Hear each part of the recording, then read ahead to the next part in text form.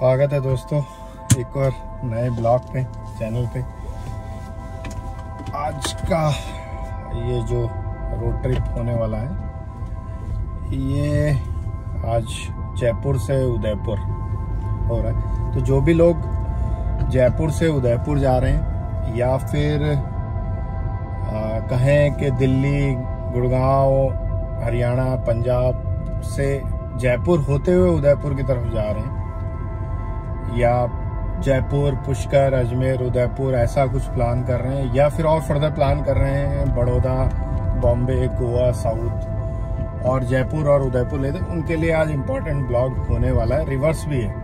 बॉम्बे से कोई लेह लद्दाख जाना चाहता है, वाया उदयपुर, जयपुर तो वो उनको उदयपुर से कोई पंजाब, हरियाणा, दिल्ली साइड जाना चाहता है या आगरा, उल्टा आगरा से भी इधर जाना चाहते हैं उदयपुर। तो आज का ब्लॉग इम्पोर्टेंट होने वाला है क्योंकि इस ब्लॉग पे कंप्लीट डिटेल देंगे, क्या रोड है, किधर कौन सा रूट ले रहे हैं।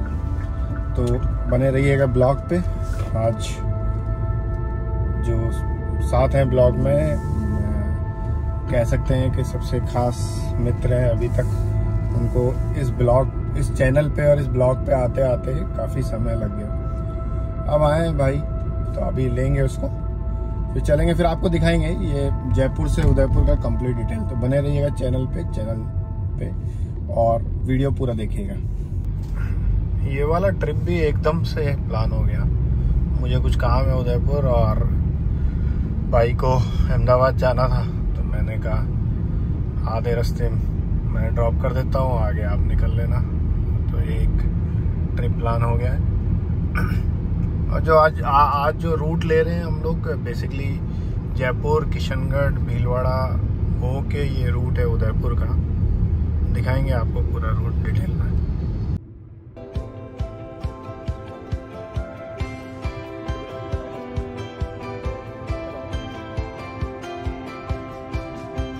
जयपुर से उदयपुर की आज की रोड ट्रिप है। इसमें एक तो मैं ड्राइवर सीट पे नहीं बैठा हूँ। क्योंकि एक भाई जो साल भर से ड्यू था आज बोर्ड पे आया है तो उसको मैंने बोला भैया गाड़ी तू ही चलाएगा। Shiv welcome to the board अभी ये गाड़ी चला रहा है इसको बाद में इसकी क्लास बाद में लेंगे। इसको इसने साल भर में अब जाके इसको टाइम मिला है। और टाइम भी क्या मिला है इसको जाना है अहमदाबाद तो इसको आधे रास्ते में छोड़ रहा हूँ आधे रास्ते ये जाएगा खुद अपने से।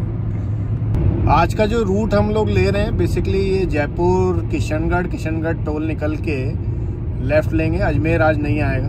अगर और फिर वहाँ से भीलवाड़ा होते हुए, अगर आप लोग जयपुर से या जयपुर के पीछे से दिल्ली, गुड़गांव या आगरा से आ रहे हैं और आपकी डेस्टिनेशन में, आपकी जर्नी में पुष्कर, अजमेर भी डेस्टिनेशन है तो फिर आप जो आप जयपुर, पुष्कर, अजमेर, ब्यावर होते हुए उदयपुर का रूट ले सकते हैं।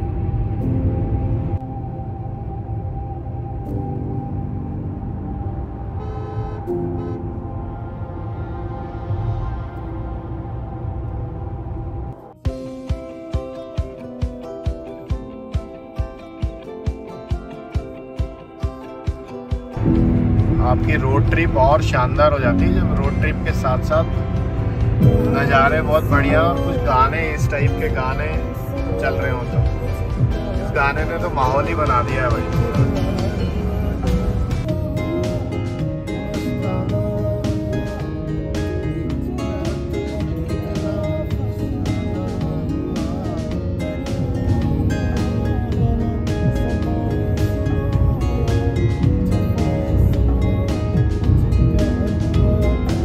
किशनगढ़ टोल निकल गया है।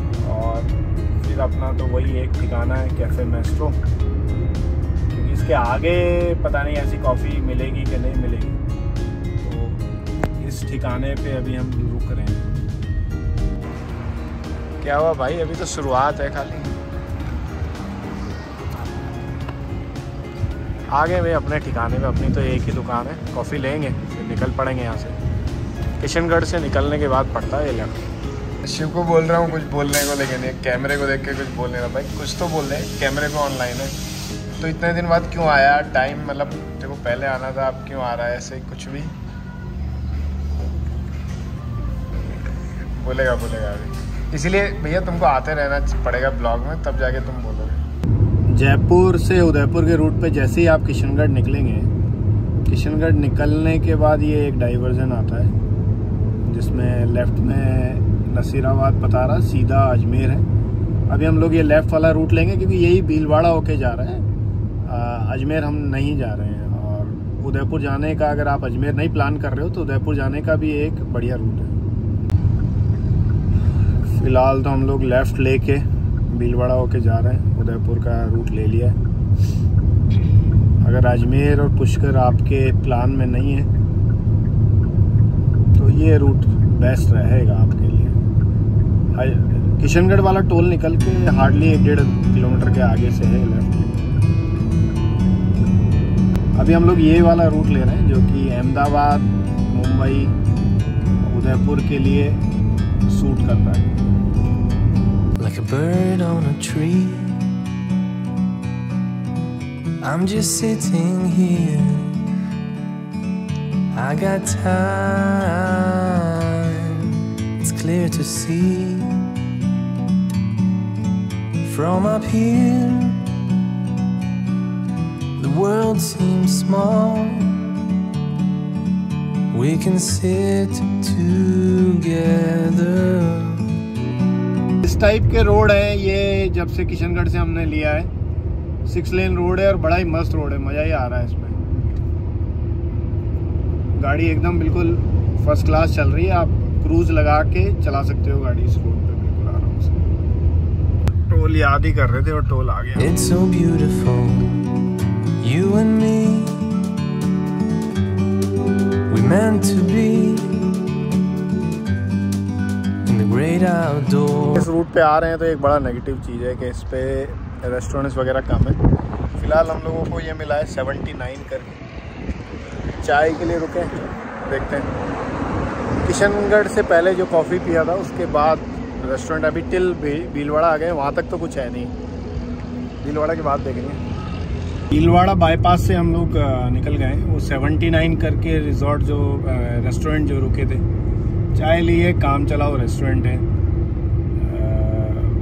उसमें चाय पी जा सकती है। हाँ ये मतलब इस रूट पे रेस्टोरेंट नहीं है। फ़िलहाल भीलवाड़ा निकल गए हैं, चित्तौड़ दिखा रहा है तीस एक किलोमीटर, और अराउंड सवा सौ किलोमीटर के आसपास दिखा रहा है, उदयपुर। रोड बहुत शानदार है रोड रोड का कोई इशू नहीं है, रोड बहुत बढ़िया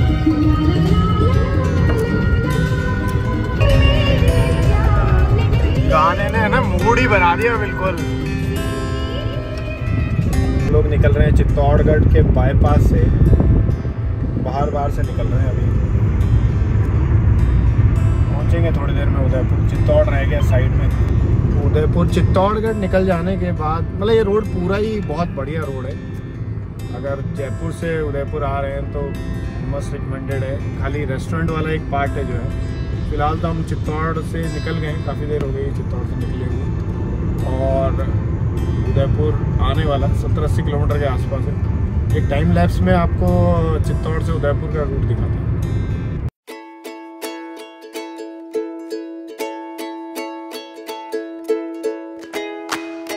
तो चले थे साढ़े सात बजे सुबह। अभी तक टोटल ट्रैवल टाइम हो गया है। पाँच घंटे सैंतीस मिनट, तीन सौ सत्तावन किलोमीटर। सेल्टोस पेट्रोल 16.4 का एवरेज दिया है इसने अभी तक। और 50 किलोमीटर के आसपास 50 प्लस किलोमीटर और बचे अराउंड छः घंटे, साढ़े छः घंटे के आसपास टोटल जर्नी टाइम लग रहा है। वाया भीलवाड़ा और वाया ब्यावर के रूट पे एक डिफरेंस है। यहाँ पे टोल हायर साइड है और वहाँ पे टोल कम है। लेकिन ये सिक्स लेन रोड है और वो कहीं कहीं टू लेन रोड है।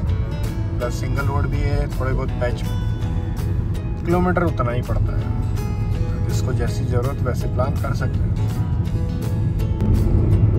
हम लोग अब उदयपुर में एंटर करने वाले हैं। ये दबोक वाला एरिया है, जहाँ उदयपुर का एयरपोर्ट है। बज रहे हैं ढाई।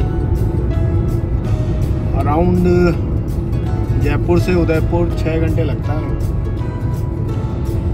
जयपुर, उदयपुर का ये सिक्स लेन रूट है और मतलब बहुत ही शानदार है एक तरह से।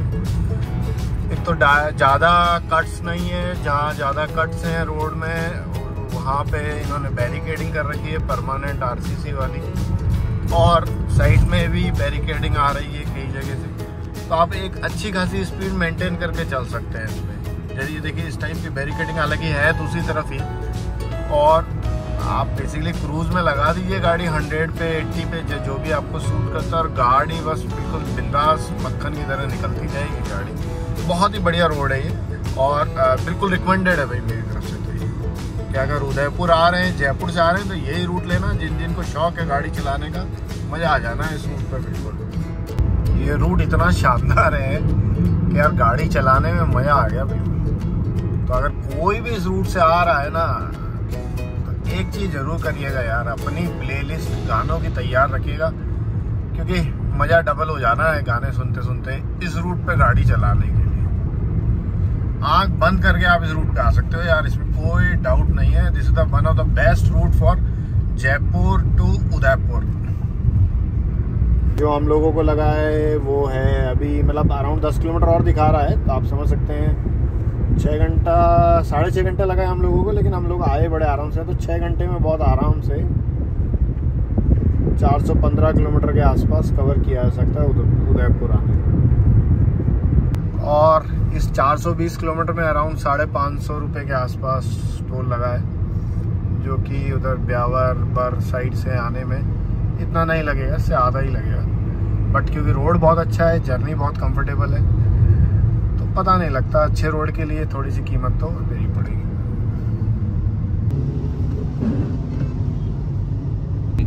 एंट्री में, उदयपुर के में, जैसे ही पहाड़ी निकलते हैं ना, पूरा शहर इसमें दिखने लगता है। पहाड़ियों के बीच में से उदयपुर शहर दिखते हुए।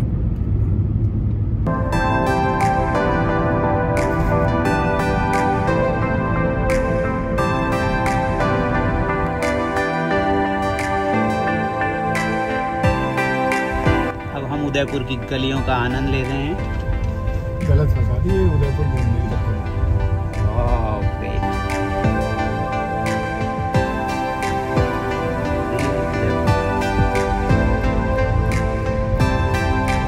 आज का हमारा मकसद था उदयपुर की सैर लोकल उदयपुर।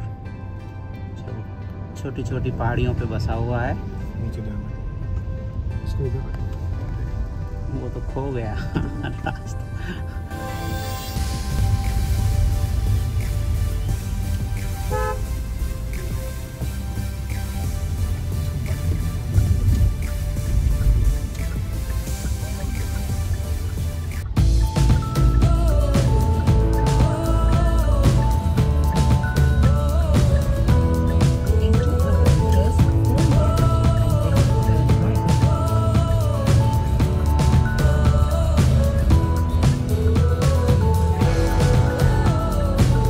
डिसाइड किया सज्जनगढ़ मानसून पैलेस विज़िट करके करने का।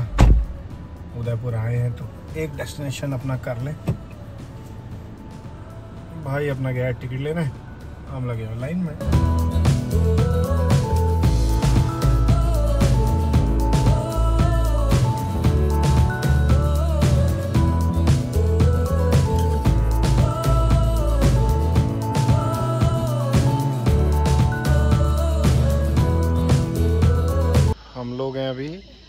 सज्जनगढ़ पैलेस से वहाँ से उदयपुर का नज़ारा है ये।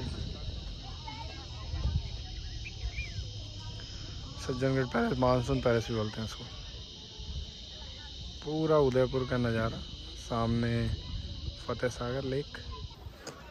सज्जनगढ़ पैलेस है ये, मानसून पैलेस। बारिश के समय में यहाँ पे बादल और बारिश के मौसम को देखने का अपना ही मज़ा है। इसलिए इसको मानसून पैलेस भी बोलते हैं। और यहाँ पे एक जेम्स बॉन्ड की मूवी की भी शूटिंग हुई है। ऑक्टोपसी के कुछ सीन यहाँ शूट हुए हैं। बहुत ही अच्छी जगह पे लोकेटेड है, बड़ा ही सुंदर है। देखने में और आसपास नेचर, पहाड़ियाँ देखने में बड़ा ही मज़ा आता है इसको। उदयपुर के पास में ही है चार पाँच किलोमीटर है। शहर के अंदर ही आ गया एक तरह से। सही है भाई सही है। नहीं बताना कैसे अच्छे यूट्यूबर के लिए क्या क्या करना होता है। देख भाई इसमें सबसे अच्छे यूट्यूबर के लिए कुछ नहीं करना होता है। इसमें बस जो आपकी जो वो है ना भगवान ने एक दी है उसको शांति से शांत स्वभाव के साथ खिलखिलाते चेहरे के साथ हमेशा हिलाते रहना है। अबे क्या चीज़? वो नहीं बताना। वो समय के साथ बता